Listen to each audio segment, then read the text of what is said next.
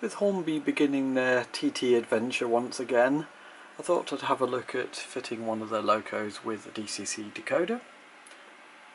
But the first thing we're going to have to do is have a look at the power feed track. Um, in both the start sets that they've delivered they have provided this and it is for analog use only.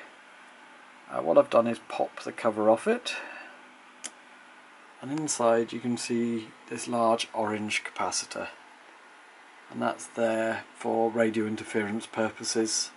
It's supposed to reduce sparking around the track um, but it will cause problems with DCC digital um, if you feed it through this or if this is anywhere in the loop. So uh, either open this up and remove this capacitor from its two solder points or just don't use this power feed track. Um, I would just solder some wires to one of the other tracks if you were converting over to DCC.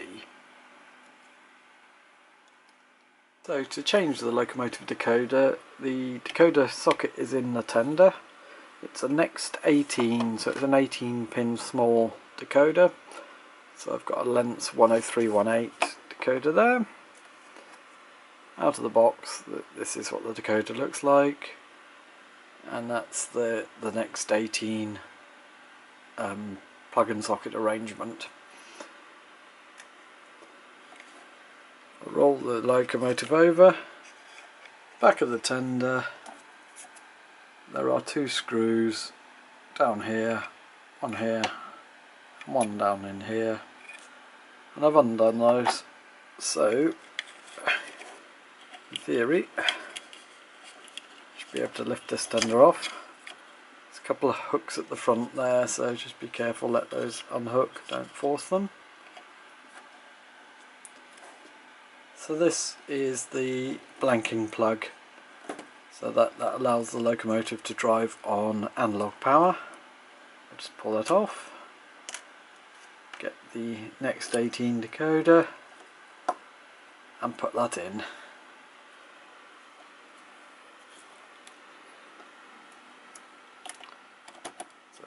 just about as easy as that. So I've got the tender body back on now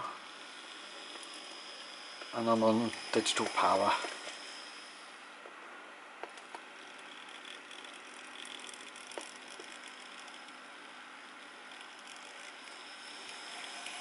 Just running on factory settings on the chip.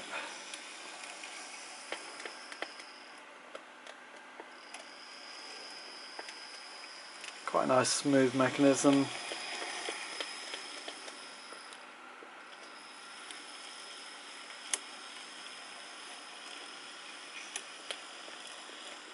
You can program in inertias if you wish.